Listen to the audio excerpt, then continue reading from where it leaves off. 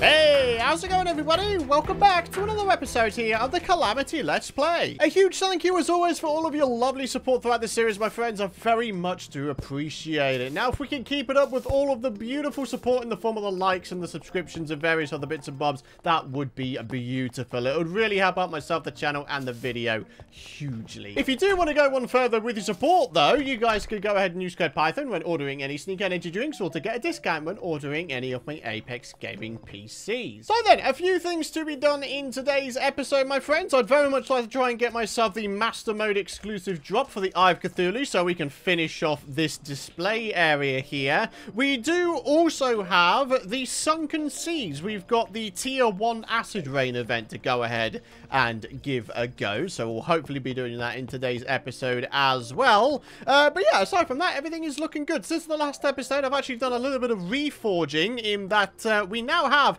a 57 melee damage enchanted sword with deadly on it. We have a demonic artery now. Unfortunately, I got the short end of the straw with the mini shark though. Minus speed and no additional damage.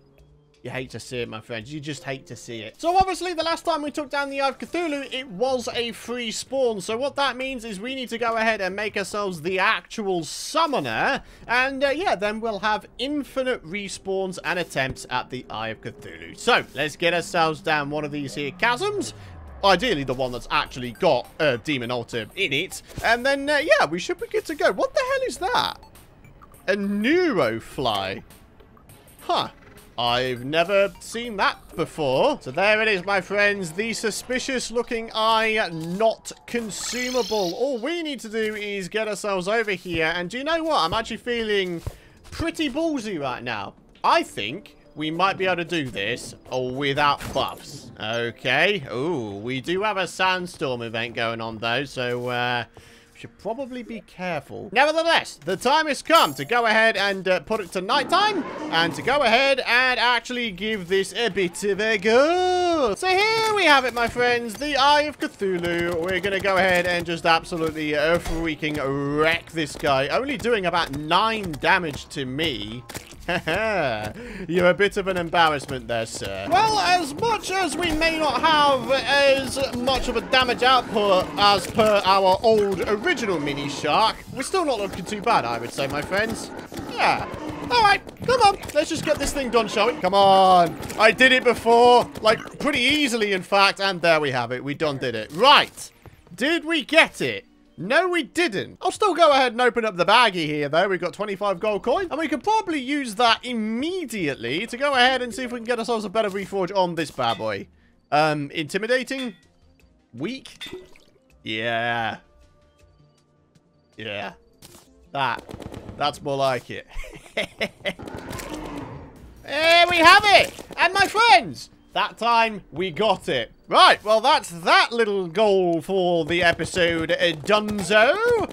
I think it's time to move on to the sulfurous seas. There it is, the suspicious grinning eyes. So let's go and zoom in, and let's put that in its little display item frame. There we have it, my friends. The display area of the Eye of Cthulhu is done. We are at a 100% success rate with all of the boss display areas so far. Very cool. Something else I've done since the last episode is go through certain folks' shops. And I've actually realised that there are two pillars being sold by this guy here. We have the Desert Pylon, which is one we don't have just yet. And also, would you believe, an Oasis Pylon from the Extra Pylons mod.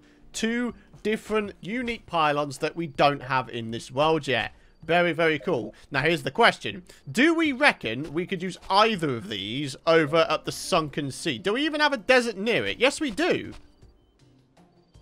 Okay. Needless to say, we actually need to, you know, get over there in order to plop these houses down. Uh, so yeah, this might take a little bit. It may not. I don't know. We are kind of running against the clock, though, here. Maybe what I should have done is go back to base and actually picked up some of my NPCs, you know, with a bug net like we can do. And then we could have simply relocated them to the eventual desert base, right? Oh well, whatever happens, happens, my friends. We'll get this thing done in one way or another. Alrighty, so here we are. We've got ourselves the Insta houses here. Let's go ahead and start placing... They match the biome? Oh, dude, that's cool. Oh, that's really cool, actually. I had no idea that would actually match the biome. And look at that, actually perfectly placed as well. All right. Uh, right, so we've got the Alchemist amongst various other dudes that we could be going ahead and uh, relocating over here. Uh, we'll go ahead and put the Lumberjack and the Zoologist over here, okay? So there's the house for the Lumberjack and then the Zoologist. There you have it. Right, it may take a little bit for them to actually come over, though, is the thing. Ah, jeez. Alright, for now, though, we could go ahead and place in the desert pylon. Rather like that. And then, uh, yeah.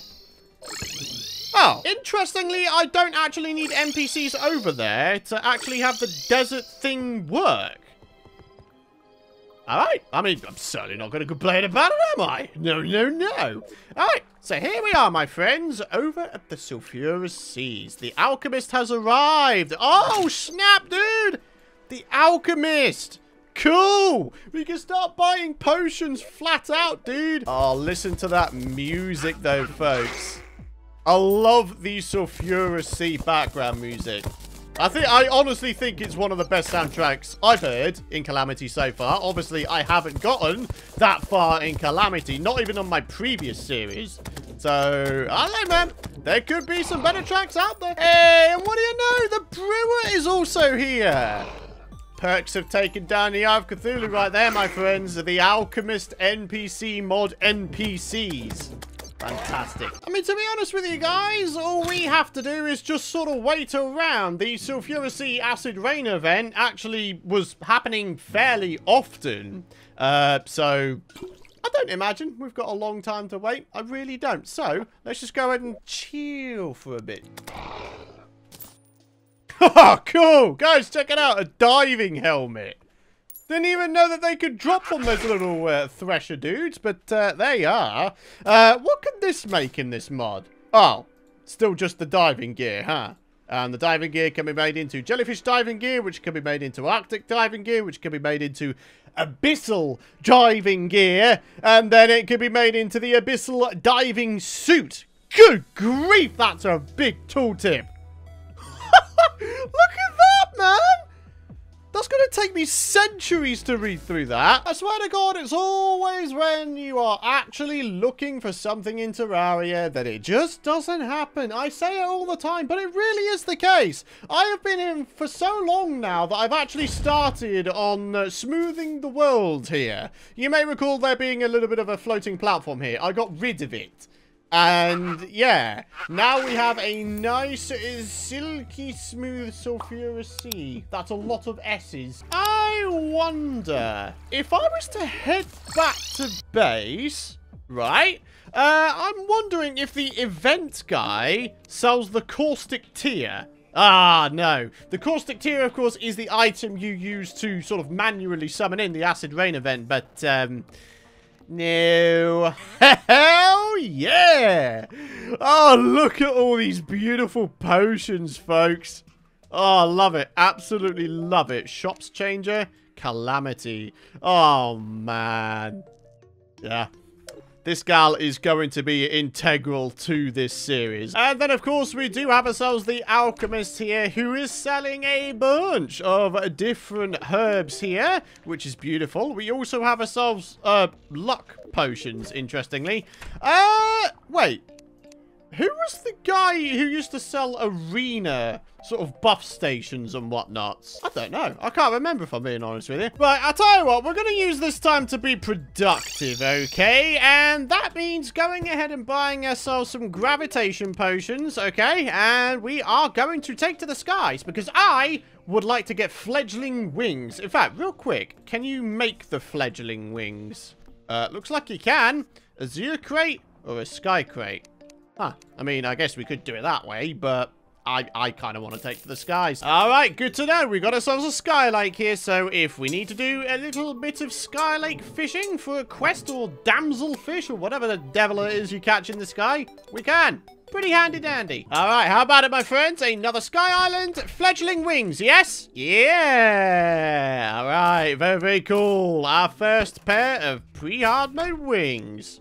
You love to see it. Absolutely love to see it. well, my friends, it's been such a long time that I've had a shirt change, I've had a cup of tea, and I've been distracting myself by taking out the Eye of Cthulhu for no apparent reason. Uh, but yeah, check this out, my friends. I figured I'd bring you guys back just to say that we've got a Death Stare rod now. That's pretty cool, and definitely pretty much a direct upgrade to the Sun Spirit staff here. So that is most certainly going to be going on our person. Uh, what would be a nice idea, though, is if we were to go ahead and get ourselves a decent reforge with it. So, we are looking for anything decent. Yep, that will probably do the job. There we have it. We have the Death Stare eyeball on us. Ha ha! Do you know what? Sod it. Technically, the Blood Moon is next, and I know for a fact that in Death Mode, the Blood Moon is a little bit different, and a little bit more insane, shall we say. So, ladies and gentlemen, we're going to go ahead and just do it. We're going to do the portable sundial, and we're going to activate this thing. The Blood Moon is rising. Come on then, fellas. 11 enemies nearby. What an embarrassment these folks are. Oh, hang on a minute. Okay. Ah, oh, there's a Nidrion. Hey, how's it going, fella?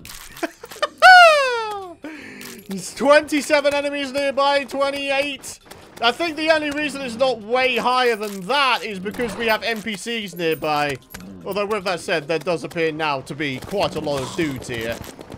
Uh-huh. Yeah. Yeah, this is doing the job real nicely, huh? yes! Oh, yeah. Very cool. Very cool. Let's see what we can grind out of all of these fellas, eh? Go on, Terraria. Give us a bunch of epicness, eh? Look at this, guys. Oh, wait. Oh, whoa, whoa, whoa, whoa, whoa, whoa, whoa. I was almost able to just sit there and take it. Um, but yeah, no, the, uh, the, the dudes started to get a little bit annoyed at me, I think. For a while there, I was able to just sort of sit on the floor and just tank everything. Interestingly, no sign of a money trough just yet. I'm genuinely surprised. I was expecting that to be like one of the first drops I get. But no, doesn't seem to be, does it? And there we go. My life is finally over. Ah, good thing. Oh, good grief. No, no. Oh, God. Okay. Uh, we need to, like, get out of it, like, pretty soon, like. There we are. All right, how about an Amidias Spark? I think that'd be a nice little accessory to have, right? Well, one good thing out of all of this is we're going to get ourselves an absolute butt ton of banners. And that is going to make this event way the heck easier. In fact, uh, ah, I don't really have a place to be putting these banners at the minute. Ah, dang. I really wanted to put them down, my friends. Yeah, this isn't working all too well. But we can now place that down. we could put a Demon Eye banner down. Yeah. Okay, okay, okay. Feeling good. Kicking butt. Taking names. Oh, yeah. Oh, yeah. I just saw an Amidias Spark drop. Oh, yeah. See, the issue we have now is we are absolutely inundated with the bloody, bloody tear summoners. And, uh, well, that's rather interfering with my ability to pick stuff up. Well, oh, well, I think that's a bit of a first world problem right there, my friend. friendos. For now, we are just absolutely a wrecking shop. Literally just wrecking shop. 27 gold coins. We can definitely probably boost this even further with the usage of a Zerg potion and maybe the battle cry from the Fargo's mod. You know, there's lots of things we could be doing to make this event just a little bit more interesting. But uh, needless to say, we're not doing it now because we're just going to wind up dying thousands of times over. well, there we are, my friends. 50 gold coins. And we're still going strong. Literally, the little regenerative hearts that these guys are dropping are healing me faster than these guys are hurting me. So then, there it is, my friends. Amidias' Spark. Let's go ahead and see if we can get a little bit of warding or armored. Armored is actually kind of all right. I'll go ahead and take that, and we're going to put that in place of the Mana Jelly. Yeah, having an offensive and defensive accessory at the same time with the Amidias Spark, I think, is more worthwhile than the mana jelly, if I'm being honest. So, according to the Calamity Wiki, apparently, there's a 1 in 6,000 chance every second for the acid rain event to just randomly begin. So it's not begun at the start of the day, it's not begun at the start of nighttime. It can literally happen at any time. Every second is a 1 in 6,000 chance, according to the wiki. I don't know if that's actually true or not, but yeah, that's kind of crazy if you ask me. Now, if we could just have it, you know, happen That'd be great. Anyway, my friends, it has been such a long time again that I'm actually beginning a new day of recording for this episode, my friends, and I've actually been a bit of a busy bee. You may notice we now have a fishing lake here in the center forest biome, so that's a pretty good idea. Figured I should go ahead and uh, get that done. I just went ahead and did the old uh, bucket of water trick to go ahead and fill in this area, which is great. I also decided to go ahead and put our oasis pylon inside of our pyramid base, and apparently it works. Additionally, I've also managed to go ahead and fix a couple of the NPC houses. This one up here, for whatever reason, was not valid, so for whatever reason, me getting rid of a banner and relocating the chair over to the right-hand side of the table as opposed to the left made it so that this is now valid, and this is the guy who has the arena shop that I was talking about before. So, yeah, as time goes on and we go ahead and take our bosses, yeah, we are going to have more and more arena stuff for sale. Heart lanterns and ammo boxes and various other bits and bobs that are all going to be very, very useful. In the meantime, we've got a couple of gems. I mean, this is the jeweler NPC at the end of the day, so that makes sense. We also have the Tinkerer. Now, this guy is very, very cool because he sells a bunch of accessories, my friends. And the things that I am looking for more than anything are these. Look at the amount of stuff we have here, my friends. I could quite easily go ahead and uh, make myself, what, the lightning boots? Maybe even the frostspark boots? We can make ourselves horseshoe balloons as well. All of this stuff is going to help our playthrough out quite nicely. So do you know what? That's exactly what we're going to go ahead and do. We've got plenty of money on us, and I feel like some accessory upgrades are in order. So it turns out we actually already have a horseshoe. There is the cloud in a bottle. So we just need to purchase a balloon, and we can have ourselves a horseshoe balloon. Turns out we don't actually have a tinker table. Not as far as I can remember anyway. So, uh, yeah, there we have it. Now we do. So there we are. Cloud in a balloon and the blue horseshoe balloon. Very, very cool. Now, needless to say, uh, going ahead and uh, getting either warding or menacing on this thing would be very, very nice. But I do kind of want to go ahead and see what this can be made into. Ah, the green horseshoe balloon. That's it, apparently. Oh, right. It's the cloud and the balloon. It's because we've got the horseshoe on it that disables the ability to make the freaking bundle of balloons. Okay. Noted. So check it out, my friends. We probably could go ahead and make ourselves the bundle of balloons here. We've got the sandstorm in a bottle. Uh, alchemy table. Ah, we don't have that. Anvil, desert feathers. We could probably make a sandstorm in a bottle in that fashion. Uh, alternatively... Oh, really? Pharaoh's outfit could be made into it. Uh, blizzard bottle?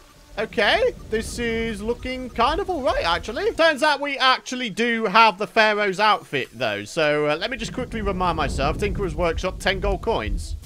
That's actually not too bad. There we have it. Sandstorm in a, a bottle. Very cool. All right, 50 bits of snow coming right up. Although, with that said, why am I doing this when I have an architect NPC and I can simply buy this stuff? Um, yeah, I've been a bit of a doofus here, haven't I? Either way, my friends, we do have ourselves the Blizzard in a bottle, and I am pretty sure that that is it. We now have the ability to make the bundle balloons. There's the Sandstorm in a bottle, Blizzard in a balloon, and the Cloud in a balloon. Wait, did I say Sandstorm in a bottle? I meant Sandstorm in a balloon. There we have it, my friends. Right, uh, oh. We can't still make it. Okay, for what reason? What else do we need? Aerialite bars! Oh, like that is it, Terraria? This has definitely been nerfed. That was definitely not in the recipe for the bundle of balloons previously. Aha! Ah, it's stopping us from getting too far ahead of ourselves, eh? Armored! Sure, that'll do, my friends. That will definitely do. We have massively increased uh, jump height, as you just saw there. Haha! Yeah, very cool. All right, got a couple of things we can make here. We can make ourselves the tiger climbing gear. We could also make ourselves the spectre boots. And then the only thing that's stopping me from making the lightning boots is the fact that we don't have an anklet of the wind. There's an aglet. Ice skates right there. Yeah, okay. Very, very cool. Blimey, that's expensive. 64 gold coins. Woohoo! Turns out we can make an anklet of the wind. Clouds, pink gel, and jungle spores. I wonder if we could go get the jungle spores real quick like. The jungle, of course, being over to our left-hand side here. Hmm. Oh, man. I'm not looking forward to this, my friends. But the outcome of this, getting ourselves Frost Spark boots, could be pretty darn major. So, ladies and gentlemen, we are indeed going to pop into the jungle, attempt to go to the underground jungle in search of 15 jungle spores. Now, alternatively, of course, we could always get lucky and find ourselves the Anklet of the Wind flat out in a chest. You just never know. So pretty much the deeper we go, the higher... Oh, hey! Yeah, very cool, Terraria. Very cool. The deeper we go, the more chance we're going to have of finding jungle spores. In fact, I think I just saw a little bit of a glowy thing down there. Ha ha! Our first jungle spores. Oh, the chances are looking good, my friends. We do have ourselves a jungle chest here, and I'm pretty sure that these mahogany chests have the same loot table as the shrine chests. In other words, we should have ourselves a chance at getting ourselves the anklet of the wind out of this bad boy. Come on. Fingers crossed, guys. Fingers crossed. Anchor of the wind. Up! No. No sign of it. Flower boots. That's actually not too bad. Ah, okay. Uh, another bone pickaxe apparently waiting down there. There must have been an undead miner, and my death stare rod just absolutely ruined him. no way! A Bezoar pre-Queen Bee! That's pretty big! wow, alright, that's going to come in useful against Queen Bee very, very nicely, I say. Very, very nicely. And, would you look at that? There's a heart statue. This is turning out to be a very, very fruitful endeavor. I'll tell you what, this is great. All right, not only do we have the last two loads of spores in sight, there does also appear to be an underground house for us to explore. So, yeah, guys, looking very... Oh, we only got two? Ah, I thought you always got three from the little spore thingies. All right, well, there's one up there, and there was one down below. I did notice it, don't worry. Uh, all right, Hermes boots, Titan potions. Wow. Uh, ladies and gentlemen, there we are, the final load of spores that we need. Okay, so we now have enough to make ourselves the Anklet of the Wind, yes? Uh, there it is. oh, snappers. Oh, my word. Our accessory supply is about to go absolutely berserk. Starting off with the Tiger Climbing Gear. Very, very good. We have Spectre Boots. We have Lightning Boots. We have Frostspark Boots. And they're warding? Wow. That's incredible. as much as the 10 defense at this early stage in the game is very, very nice, I would like to be able to move nice and quick, my friends. Now, obviously, because we have the Frostspark boots, that is going to help us massively, but the little giant shell here is going to hinder that a little bit. So I am actually going to take that off in favor of my now warding Tiger climbing gear. So, yeah, we haven't lost too much defense. Look at that. We've still got 41 for crying out loud. But, yeah, now we have ourselves some uh, decent tier accessories here, my friends. Very, very good indeed. Our movement speed should be very, very nice now, my friendos. In fact, already it's feeling good. Good with a capital good. So then, my friends, on that epic note, it is time to wrap up the episode. I was wanting to do the Acid Rain event today, but uh, Terraria and Calamity said otherwise. So, um, yeah, it's just how it is sometimes. Elijah Smith says you can get a massive amount of money from selling the corals, seashells, and other sea things that the Desert Scourge drops from his loot bag. Let's go ahead and uh, put that to the test, actually. Uh, seashell. Okay, uh, seashell? Uh, oh, I might have already made it all into other stuff. Uh, what about coral? Okay, there's a little bit of coral apparently inside of this chest here. Uh, what can it be sold for? 18 silver. That doesn't seem overly high. Maybe it's some of the other materials that the Desert Scourge drops that we need to be going ahead and selling. I don't know. I need to go ahead and, you know, take the Desert Scourge down to really put that to the test. But I appreciate the tip there, buddy. Guys, thank you very much for watching. If you guys have enjoyed today's episode, please do be sure, of course, to drop a like rating if you haven't already. Hit the subscribe button and don't forget to ding that bell if you don't want to miss out on my future content. But for now, thanks for watching. Have a fantastic rest of your day. Thank you for all your support, and I'll see you guys in the next episode. Bye-bye.